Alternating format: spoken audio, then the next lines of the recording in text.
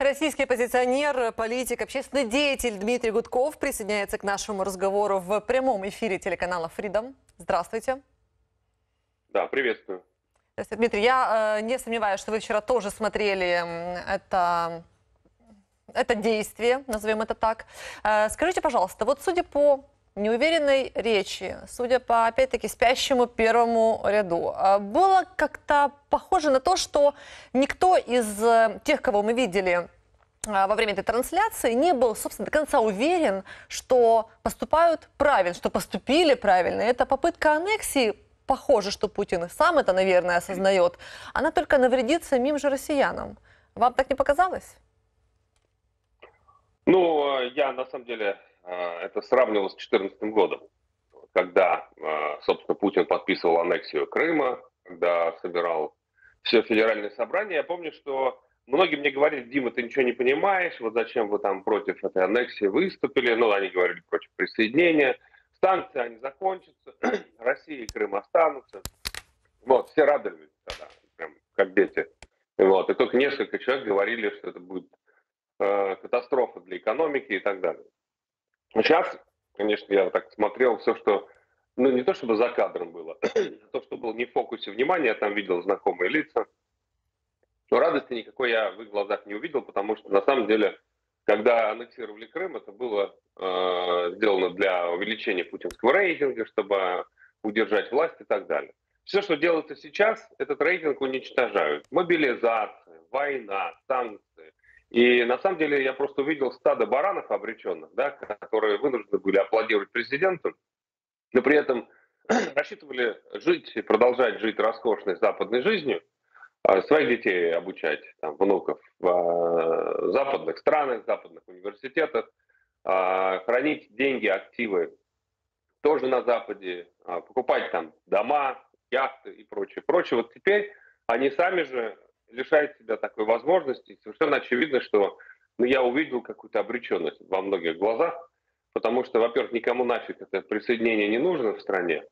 Как это уже мем такой известный. Найдите хотя бы одного человека, который заинтересован, кроме Путина, да, в присоединении там Херсонской, Луганской, Донецкой областей и так далее.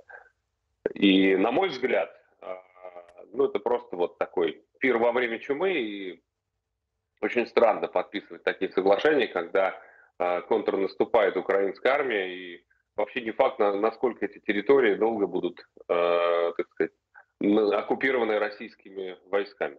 Дмитрий, ну, с обреченностью в глазах чиновников, э, соратников Путина все понятно. Давайте все-таки немного поподробнее о реакции простых россиян.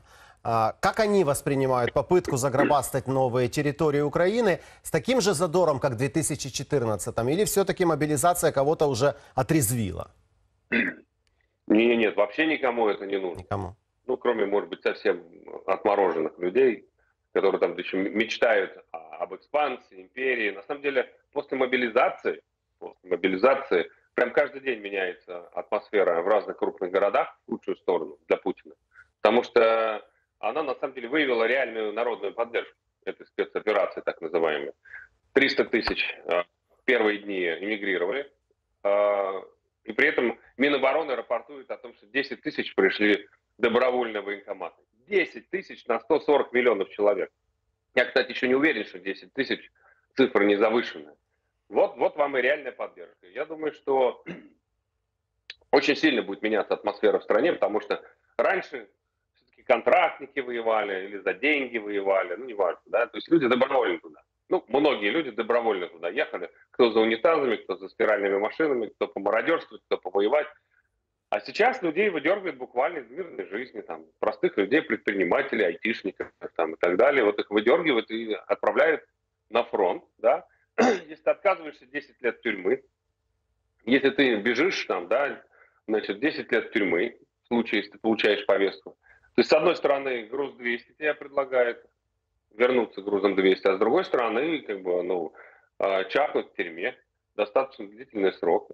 Вот. И в какой-то момент, я думаю, это все конвертируется в, в реальный массовый протест, потому что, ну, если ты поджигаешь военкомат, не думаю, что ты получишь больше, чем 10 лет. Скорее всего, меньше. Если ты участвуешь в протестах, если ты называешь войну войной, да, тебе тоже, наверное, грозит до 10 лет тюрьмы, но уж, по крайней мере, ты получишь какое-то моральное удовольствие. То есть сейчас э, риски, как бы, вот, э, погибнуть или сесть, они сравнялись. Поэтому, в общем-то, радикальный протест не является чем-то сегодня э, из ряда вот, вон выходящим. Поэтому я думаю, что что-то мы увидим. Ну, давайте, а давайте, ну, кстати, вот ремарка такая, Путин может гордиться, что изобрел средство, наверное, от расизма и тупоротого национализма, да, быстро лечится всего лишь одной повесткой.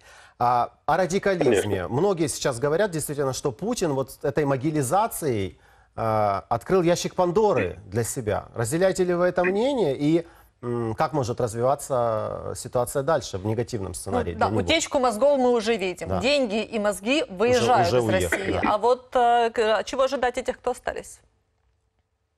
Ну, на самом деле, э, те люди, которые выезжают, в принципе, они в большинстве своем и так люди мира, это айтишники, которые могут работать откуда угодно, там, mm. дизайнеры, которые также могут работать откуда угодно. Вот. А, но многие не смогут уехать и среди тех, кто не может уехать, не сможет уехать, вполне себе очень много нормальных э, людей, которые выступают против войны, которые не хотят убивать украинцев, да. Вот. А люди, которые, в принципе, всегда выступали против насилия. А сегодня, по большому счету, э, мобилизация толкает этих людей на радикальные меры, потому что ну, мирный протест не работает, он бессмысленный. Кто-то вышел, сказал, я против войны, сел на 10 лет. Ну какой в этом смысл? Ну уж если тебя в любом случае сажают на 10 лет, да, ты думаешь, так может быть мне хотя бы какое-то удовлетворение, так сказать, себе принести и сделать что-то полезное. Может быть там э, поджечь три военкомата, да, я сяду, да, на 10 лет, но по крайней мере э, три военкомата сгорят вместе с документами, и э, комиссары не смогут добраться до призывников многих. То есть я просто к тому, что я не то чтобы сторонник таких мер, вот, но власть к этому просто этой мобилизации подталкивает. И на самом деле это не частичная мобилизация, а полная. Под нее попадают а, вообще все подряд, включая даже силовиков, которые очень недовольны. На самом деле вот еще есть прослойка силовиков, которых сейчас собирают, чтобы отправить э, на войну. Э, поверьте, настроение там просто жуткие. Да? И я всегда говорил, что э, среди там, среднего состава руководящего состава ФСБ как раз очень много противников Путина. Я помню еще в 2018 году на участке в Москве как раз, который находится избирательный участок, рядом э, с местом проживания э, сотрудников ФСБ, там Путин проиграл в чистую просто выборы президентские. То есть там вот такие настроения. А теперь их еще отправляют воевать. Да? И неизвестно, чем это закончится. Он, конечно, Путин открыл ящик Пандоры.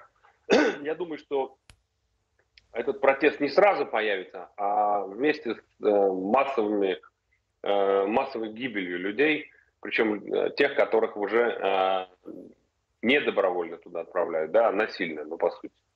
Дмитрий, ну вот мы говорим о, о радикальном изменении настроений, пока только настроений, да, только после мобилизации. Только после мобилизации одной. А что будет, какая реакция будет, когда Путин не сможет защитить вот эти э, недоаннексированные территории, он пытается их аннексировать, да? Вот что, как, как он будет выглядеть в глазах окружения э, кремлевского, в глазах простого народа и тех же силовиков, о реакции которых вы только что так подробно говорили? А защитить он не сможет. У нас через 72 часа Лиман только будет неприятным сюрпризом для Кремля да, и, и кстати, Верховного я хочу, главнокомандующего. Я бы хотела бы тоже ремарку вставить относительно э, перехватов, которые мы уже получаем и которые уже выложены в сеть относительно Лимана. Попрощался позвонил. Это оккупант рассказал, как его подразделение попало в кольцо. Э, российские военные вы окружены. ВСУ показали кадры из Лимана. И э, это вот только последние новости, которые оттуда доходят. А их же будет больше. Да. И в России же тоже об этом уже знают и уже читают тоже эти новости, как бы э, пропаганда не старалась эту информацию сжать и припрятать. Ну, в случае военного поражения режим Путина закончится. Может быть, не сразу, но я думаю, что ему не простят ни чиновники, прошу прощения, ему не простят элиты, которые под санкциями, ему не простят вот те самые, а, значит, а, воинствующие такие ура-патриоты, которые увидели, насколько российская армия коррумпирована, что там никаких оружий нет, одни мультики, да, о ракетах. Поэтому а, этот режим проиграет однозначно. Вот. а, Но у Путина, конечно же, еще остается опция применения ядерного оружия, да, о чем все сейчас говорят. И, собственно говоря, доктрина а, безопасности России предполагает использовать это оружие в случае нападения на территорию, которую Россия считает своей. В смысле, режим считает своей. Вот. Поэтому а, такая опция есть. Путин сейчас расчехлил, да, уже ядерную боеголовку и начинает весь мир шантажировать. Вот. Мне кажется, уже шантажу никто не будет поддаваться. А, и Запад достаточно жестко уже а, заявил и предупредил, что будет жесткий военный ответ. Очень жесткий военный ответ в случае применения такого оружия. То есть это уже никого не останавливает. Ну и мы не знаем вообще, а, готов ли будет Путин дать такую команду. А самое главное, будут ли эту команду исполнять, потому что у операторов этих чемоданчиков ядерных, их три, а не один, да, вот, тоже есть дети, у там генералов тоже есть семьи. Конце концов, куда они будут стрелять? В Париж, где дочка Пескова, а в Вашингтон, Нью-Йорк, где дочка Лаврова. И куда они будут стрелять? Поэтому это на самом деле достаточно сложная задача. И как только Путин дает команду, но ее не выполняет, он прям потерял власть сразу через мгновение. Поэтому, конечно, военное поражение ведет к э, крушению этого режима. Я об этом говорил с самого начала. Этих идиотов наверху тоже предупреждали, что никакого военного решения проблемы, так сказать, э, Украины не существует. Дмитрий, Просто спасибо большое. Да. Огром- А мы будем ждать новостей, хороших новостей от э, ВСУ и наблюдать за этой картиной, потому что действительно ситуация меняется каждый час. Спасибо вам большое. Дмитрий Гудков, политик, общественный деятель, был на прямом включении телеканала Freedom.